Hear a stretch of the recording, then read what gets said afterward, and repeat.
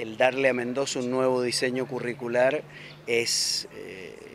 realmente dialogar con el futuro. Un nuevo diseño curricular de primaria es de alguna manera decirle al futuro esta generación qué escuela primaria pensó que se debía hacer. Creo que tiene una característica fundamental este diseño curricular es que ha sido enormemente participativo y es porque se ha hecho a partir de una plataforma que permitía que todos fueran viendo lo que todos planteaban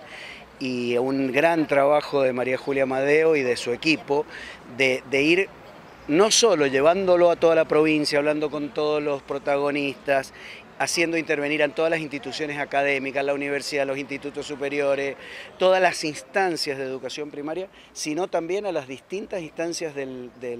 gobierno, instituciones como irrigación, los ministerios, la policía eh, y eh, medio ambiente, eh, y después también, bueno, por supuesto, la participación de todos los directivos, los supervisores, eh, la inspección general y la mesa provincial, eh, y, de los directivos, ya lo dije, de los directivos, bueno, la, enorme cantidad de docentes que mandaban sus colaboraciones, que mandaban sus planteos, y María Julia del otro lado que los coordinaba, los contestaba y los agregaba a un diseño que se iba construyendo entre todos y que todos lo podían ir viendo y de alguna manera todos modificando. O sea que llegamos a un diseño que ya ha pasado por el Consejo Provincial de, Educación, como marca la Constitución Provincial, creo yo, con un consenso absoluto.